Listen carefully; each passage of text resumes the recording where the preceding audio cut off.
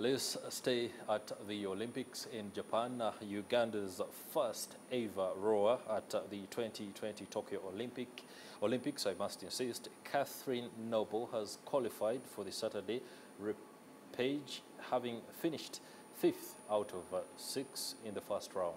Let's take a look. Yeah, I would say today went as well as I could have hoped for it to go.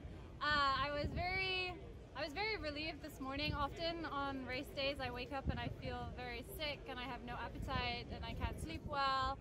Uh, but this morning, thank God, I like woke up and I felt good. I was able to have breakfast. I felt very calm. Even like on the starting blocks, usually I'm shaking and today I wasn't. So I'm very grateful. I'm just so grateful, honestly, to God that today I felt the way I did.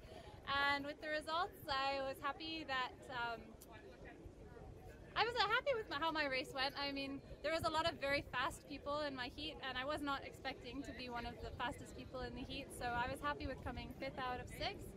And tomorrow is a big race uh, for getting in, trying to get into the quarterfinal. So we'll we'll see how that goes. Uh, there's the opening ceremony uh, today as well. Are you excited about that?